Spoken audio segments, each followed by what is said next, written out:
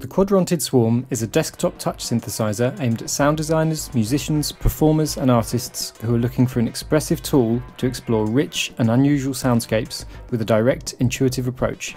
The Swarm communicates openly, either from the touch keyboard input, built-in sequencer, from external CV or from MIDI. Swarm is a full voice digital synthesizer offering all the features of a classic synth with some unusual twists to help you discover new timbres in sound and music. The model featured in this Kickstarter campaign is a desktop standalone device, which can be used without any other synthesizers or controllers. Eight instrument modes can be selected. Each should be considered a springboard for your own creativity rather than just a preset. The first Quadrantid Swarm prototype was launched at Superbooth 17. We built upon the feedback we received there to create a more complete, more purposeful design. This is the final prototype. We need your help to make the first production batch a reality.